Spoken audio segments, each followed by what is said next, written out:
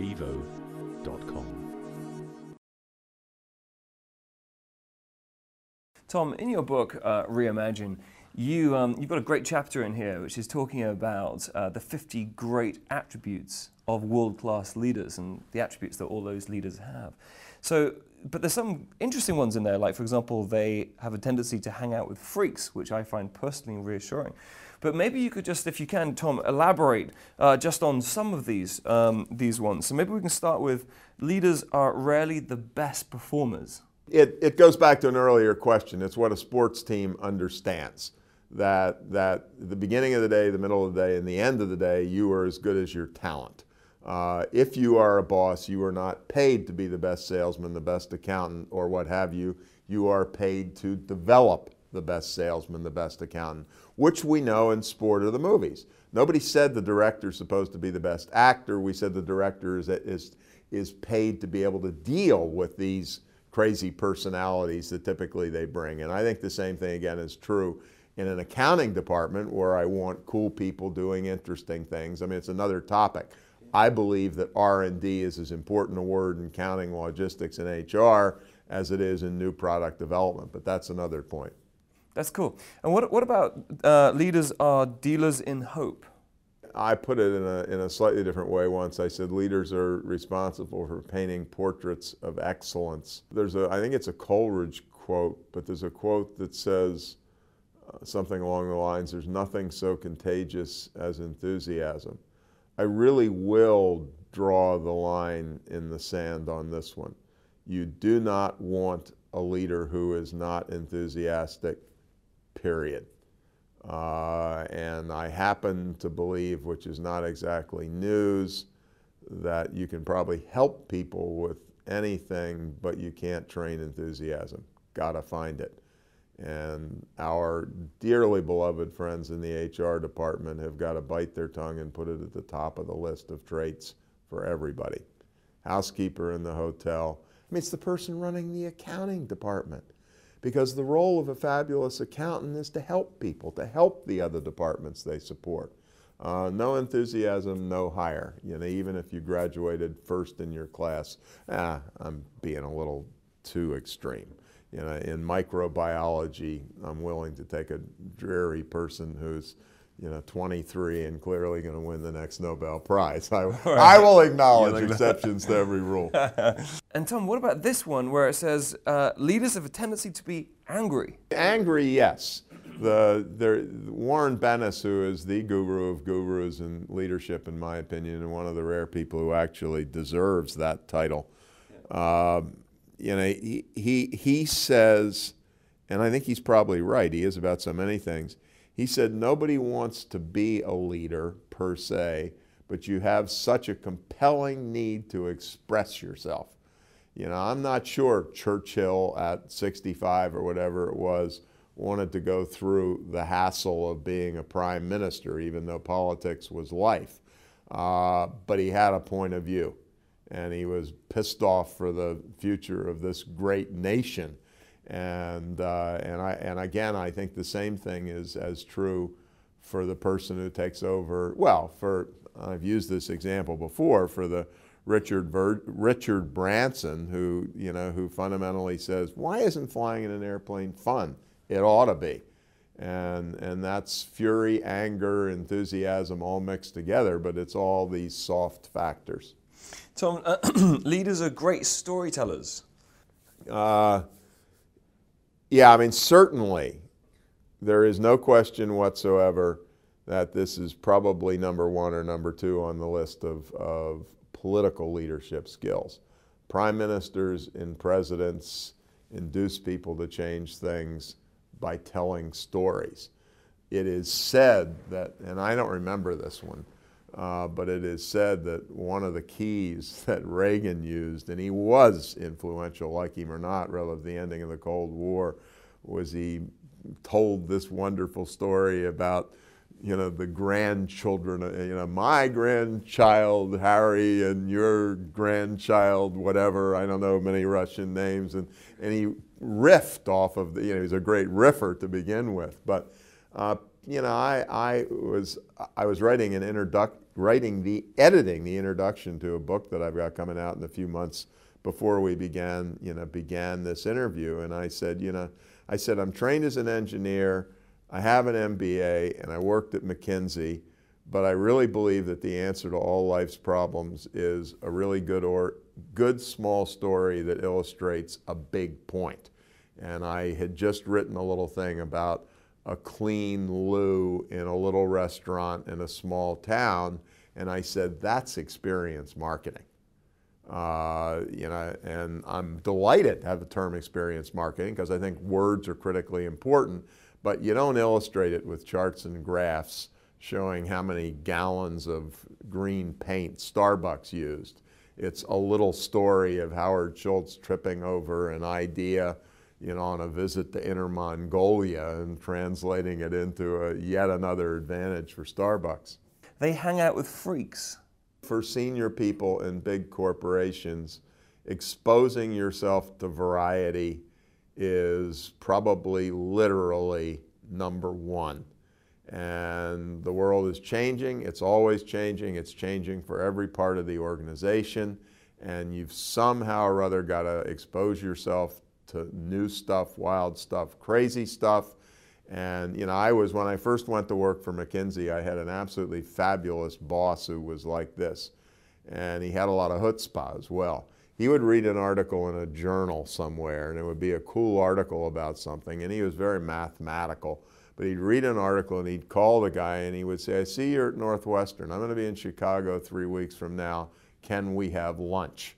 But he almost always translated it into action, and so again, I think it's, I mean, the, the, the uh, I know I'm, you know, I love statistics, and so I know I use this term standard deviation too much, but the deviation from the norm of the number of the people you go to lunch with in the course of any month is horrifyingly small for most of us. And the wonderful news is you like your workmates. The bad news is you go to lunch with the person you really like a lot who you've gone to lunch with 37 times in the last three months uh, lovely lunch, ain't going to learn anything new.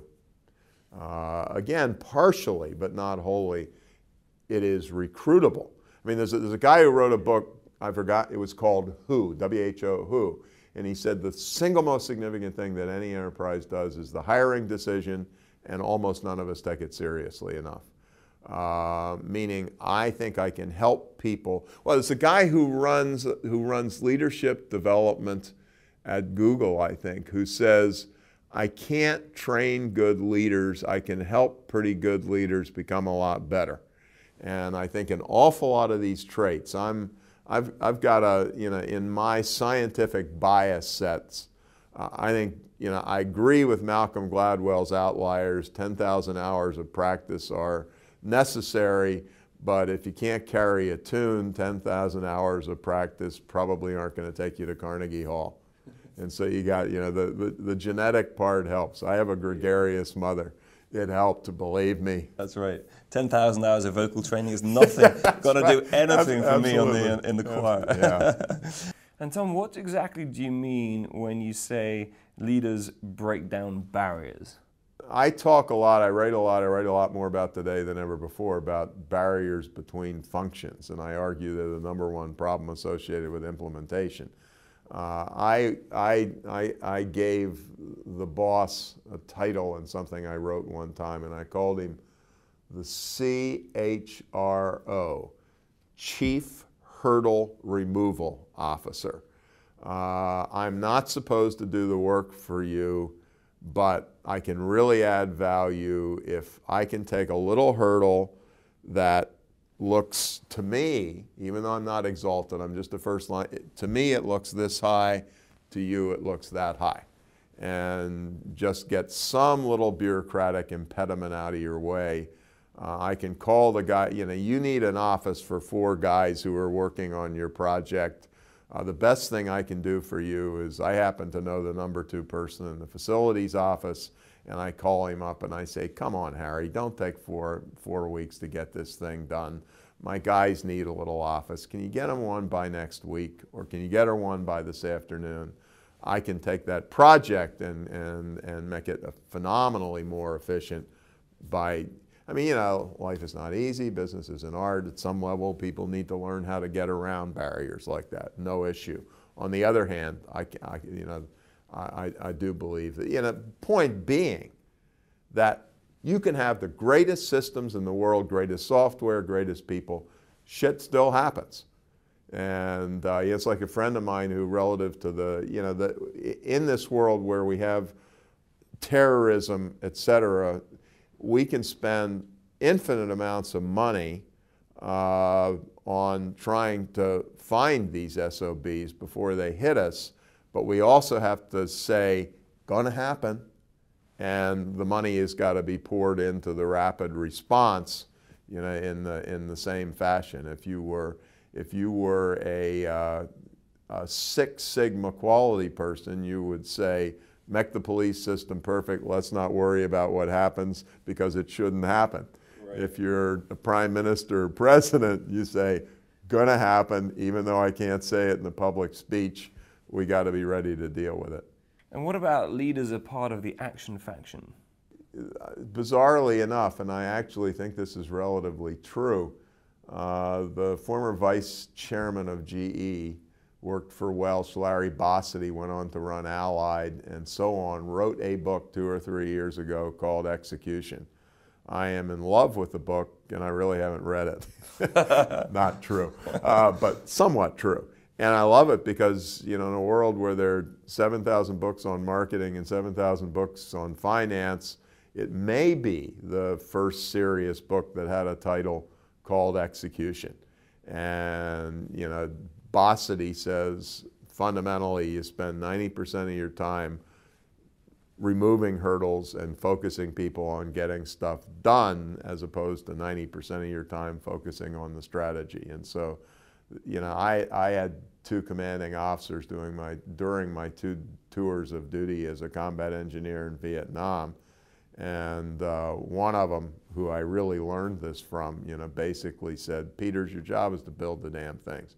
I don't want reports on it. I want it built. There may be a monsoon. People may be shooting at you. You're being paid your $3,000 a year as a second lieutenant or ensign in the Navy to build. And then my second commanding officer, I barely exaggerate when I say he would rather have had a tidy report about something that was never finished than something that was finished but the paperwork was lousy. And de facto, if not de jure, an awful lot of that goes on in business of the public sector, certainly in the private sector as well. And relative to my bias towards small and medium-sized companies, uh, huge amounts of bureaucracy seep in to the 10-person company by the time it becomes a 50-person company. You've got to get organized, but you can't let it strangle you. Yeah, this one's a good one because I, I, know that a lot of leaders like to think, hey, they've escaped the sales department, but you say that leaders are salespeople extraordinaire. Every human being who succeeds, even at a technical discipline, is a good salesperson. All of life is sales. It's sales to your nine year old, literally, when you're trying to make a point it is sales to 300 million people. Well, let's say 200 million adults if you're Barack Obama trying to change the healthcare system in the United States. It's sales if you are a narrow minded PhD in engineering who really would like to see people implement that shockingly cool idea that you have the, you know, I had this wonderful little experience. I'd never heard it so clearly. Uh, my wife and I were on vacation in New Zealand, and we were at a, you know, at an old sheep station that was now partially resort. And there was this guy, I would guess he was about 65, and he had been a, I don't think it's appropriate to mention his name, but he'd been a very successful television producer in Hollywood. And God knows we weren't talking about managing, we were just talking about, we were bull, frankly. And he said, which was subsequently proved, he said, I had all these fabulous ideas. He said, and I just couldn't get them approved. And it was really making me angry at how stupid the people were who I was going to. And he said, I happened to have an insomniac night, and I was watching television at, say, 2 o'clock in the morning, and I watched one of these How to Make a Million Dollars in Real Estate programs, and it was really stupid, except some of the tools weren't bad. He said, I invested two years in my life. He said, I must have bought 60 books on selling. He said, I went to some of those real estate conferences. And he said, I taught myself to be a good salesman. And as a result thereof, the good things that have happened to me came directly from that. But I thought that was kind of the best story I'd ever heard because, you know, again, and, and, I, many leaders understand it if they, well, two things. Uh, many leaders understand it even if they don't do it particularly well. The people who make me angry are the people who are in charge of systems in the IS department or the person who's running a six person training department who said, I have a PhD in training. I know my stuff. I'm not paid to be a salesman. And you know, my bias is your PhD in training is relatively incidental if you're going to make a mark. You know, if you ain't inter- you know, if you ain't interested in sales, you ain't interested in getting things done. Period. The other point I wanted to make, and it's a huge part of this new book that, that I'm writing, is I believe that disciplines like sales, disciplines like listening, are as amenable to study, practice, and mastery as is playing the cello or learning to be a fly fisherman. And one of the huge problems with certainly MBAs, but you and me in general, is the stuff, you know, listening not for you, but you really are a freak in that dimension. It's what you do for a living. That's not fair because there are a lot of people who, who are doing what you're doing who do it because they love to talk. You know, Chris Matthews, the political guy in the United States, has a program which fundamentally, I'm a foil. You know, he said, "Isn't that right, Tom?" Four times in a half an hour. But but it's uh, you know, I was when I was writing this book, and I'm a lousy listener.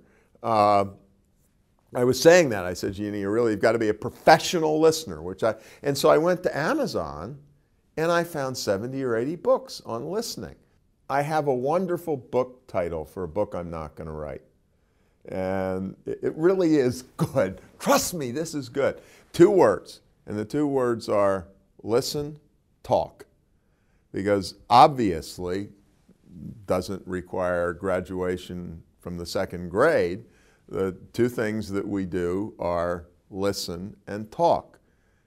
Virtually nobody is trained in either one of them. And yet, both of them are as practicable, learnable, masteryable as learning to, you know, sail a 12 meter uh, yacht or, you know, become a fly fisherman or become a neurosurgeon. And if you do what the average business person does, that's what you do. That's your cello playing. That's your fly fishing. That's your uh, you know, your art. And, and we should, in, and again, I do believe in genetics. And you know, maybe even the people who are the best sailors know the difference between a west wind and an east wind a little better than the average. But you know, the I mean, for heaven's sakes, if you think it's sport, yeah, the best athletes in the world. But what defines the winners from the losers at that high level? the practice and the quality thereof. And so uh, I, I, I want to professionalize the stuff that we really do. And the real stuff is relationships and it's listening and it's being able to present. A good friend of mine in senior management at a giant company says he spends 15 or 20 years developing a great person and that great person flunks out because he makes two consecutive lousy presentations, each of them four minutes long to the board. I mean, we have the world's most improbable president of the United States, and he wouldn't be there if he hadn't made a 17 minute speech at the Democratic Convention in Boston in 2004. And, and, interesting because Obama is a good example, and he's a good example I mean, he is, again, genetically, he's got a lovely temperament and he's got a brain, probably to die for.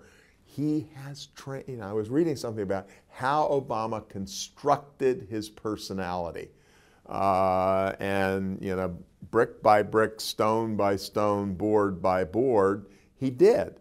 And, and so, you know, it, it, it's, it just infuriates me that, you know, one, there, there are so many people who are so much smarter on this stuff and better than I am. And I would, have read a lot of stuff, and it's become one of my latest passions the art and science of apologizing, uh, which women may not need, but you and I need seriously. And so I became fascinated by it, and I go to Amazon, and there are 20 or 30 books on apologizing, on everything from Chernobyl to at home forgetting to take the garbage out. And they are written by leading philosophers from Oxford as well as self help ninnies from God knows where. But you know, it, it, it, there's probably the best of the executive coaches is, a, and I have problems with that discipline, but the good ones are good. Uh, Marshall Goldsmith says there's nothing more important in life than the ability to apologize with sincerity. My MBA course is going to have a whole course on apologizing, on appreciating and saying thank you, on listening, on presenting. And, uh, you know, there's the, the story I like to tell when I'm here, as opposed to seven other things when I'm in the U.S., is Edward VII was not supposed to be necessarily the brightest bulb in the, you know, in the closet, and he was not particularly respected uh, by your countrymen. Uh, and at a crucial moment, I think it was 1912 maybe, he goes over to France. He arrives in France. The French are out on the streets booing and hissing. Uh, Edward has the greatest 96 hours perhaps in the history of Britain. Uh, his French is gorgeous, his mastery of the language.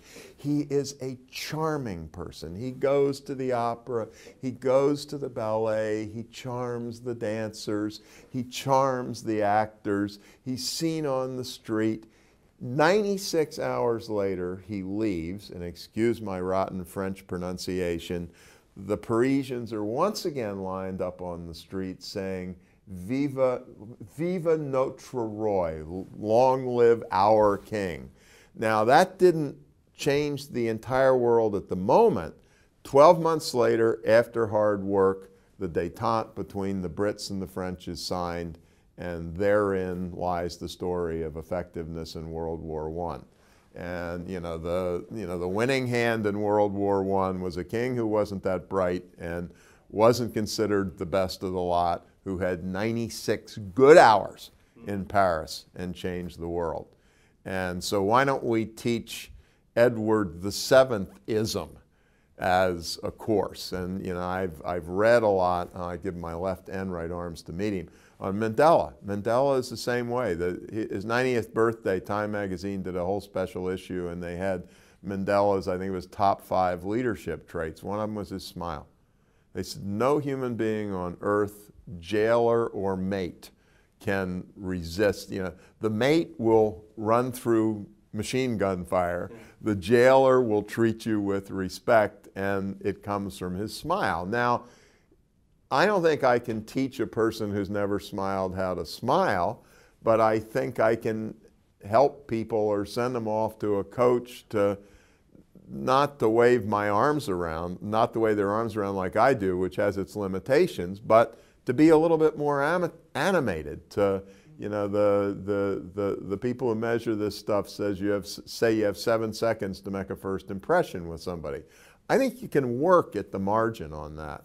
And these are the skills which which leaders of nations and you know the know, Franklin Roosevelt famously once said, uh, the president has to be the nation's number one actor.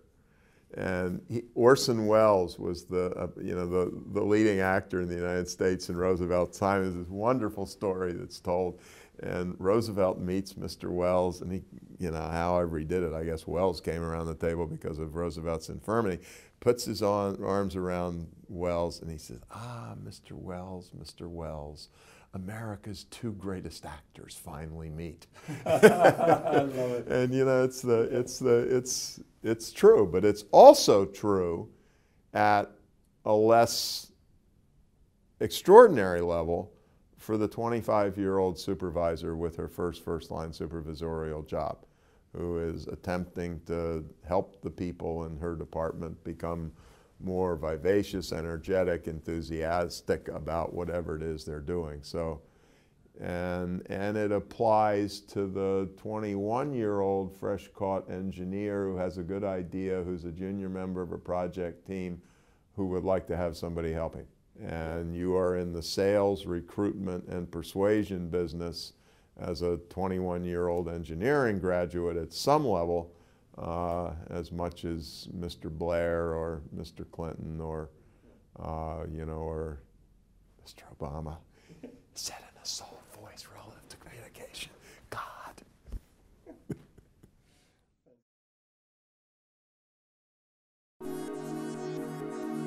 Bevo.com